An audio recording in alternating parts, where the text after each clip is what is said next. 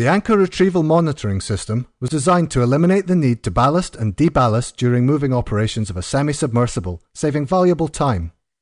ARMS is constructed from class-leading components and materials incorporating a state-of-the-art pan, tilt, and zoom camera integrated with high-intensity LED lamps for increased reliability.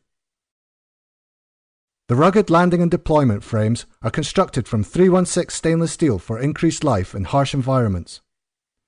The electric or pneumatic custom winch comes with integrated slip rings. There is a system positioned at each winch house allowing independent anchor monitoring.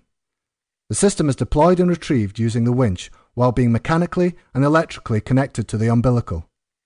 The umbilical passes over a small sheave wheel mounted above the winch house. The umbilical used is braided, flame retardant, mud resistant, and strengthened with Kevlar. The ARMS rests upon the frame, which is fitted between the chain wheels. The high quality images produced by the camera are monitored in the winch house and the bridge, allowing the anchors to be safely stowed before moving the rig. This system is already supplied to the Aleutian Key, the Jim Cunningham, the Transocean 135, and the Transocean 140.